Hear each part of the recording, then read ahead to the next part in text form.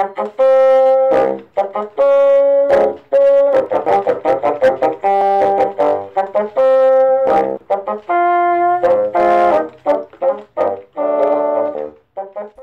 ดีครับ วิดีโอในวันนี้เราจะมาสาธิตการทำลิ้นบาซูนกันนะครับ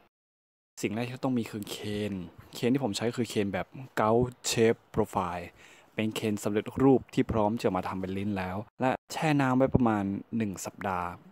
สำหรับผมเวลา1สัปดาห์เป็นช่วงเวลาที่กำลังพอเหมาะสำหรับการทำให้ลิ้นอ่อนตัวลงมากพอที่เราจะมาขึ้นรูปได้นะครับ ซึ่งระยะเวลานี้ก็ขึ้นอยู่กับประเภทของเคนชนิดของเคนความหนาแน่นของเคนที่เราใช้แตกต่างกันไป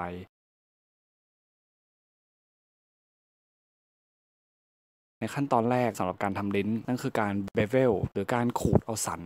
สันด้านในของเคนออกทั้ง 4 ด้าน เพื่อให้เคนสามารถประกบกันได้พอดีนะครับ อย่างที่เห็นผมจะใช้กระดาษทรายขูดทำมุม 45 องศา นับจำนวนครั้งเท่าๆกัน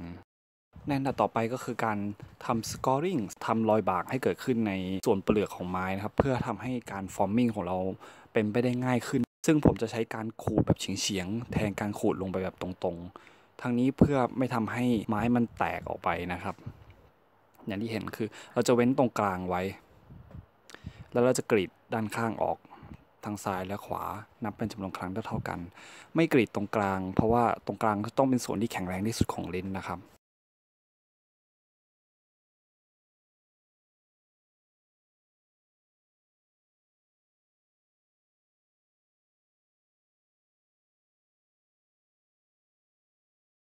จากนั้นจะเป็นการพับ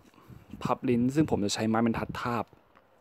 ทาบไว้กับรอยตรงกลางของลิ้น แล้วก็พับลงตรงๆ พื่อให้ได้รอยพับที่เรียบเสมอ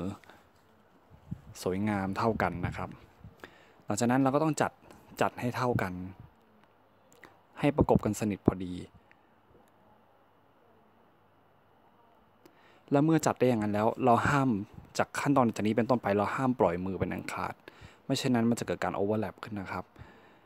ต่อไปเราจะทำการพันลวดเส้นที่ 1 การพันลวดเส้นที่1นี้มีความสำคัญมาก เพราะว่ามันจะเป็นการควบคุมการแตกของเนื้อไม้ เวลาเราทำการ forming ถ้าเราพันลวดเส้นที่ 1 ไม่แน่นมากพอ รอยแตกของไม้จะขึ้นไปถึงตัว blade ด้านบนทำให้ลิ้นเสียได้ครับ การพันลวดผมจะใช้วิธีการพันแบบวนขวา โดยใช้นิ้วมือค่อยๆ รูดลวด ให้ไปตามส่วนโค้งของลิ้นให้แนบสนิทกันพอดี เพื่อให้เกิดความกระชับเวลาเราบิดลวดนะครับ บิดลวดเราจะใช้ครีมปากจระเข้ ซึ่งเราต้องจัดให้ส่วนตัดของลวดอยู่ตรงกลางพอดี และดึงบิด จัดให้เข้ารูป แล้วก็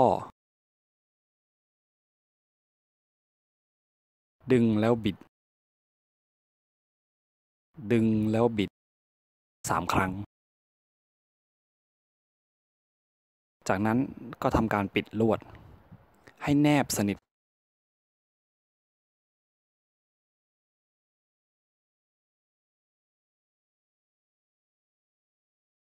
จากที่เห็นเรายังเห็นช่องว่างระหว่างลิ้นกับลวดอยู่ ซึ่งนั่นเป็นสิ่งที่เราไม่ต้องการนะครับ เราต้องปิดให้แน่นสนิทเลย จากที่เห็นเส้นลวดจะต้องอยู่ตรงกลางของลิ้นพอดีนะครับ ปมลวดจะอยู่ตรงกลางพอดี ขั้นตอนนี้เราต้องทำให้แน่ใจว่าลวดน้ำพันเรียบสนิทไปกับลิ้น ก่อนไปสู่ขั้นตอนต่อไปนะครับ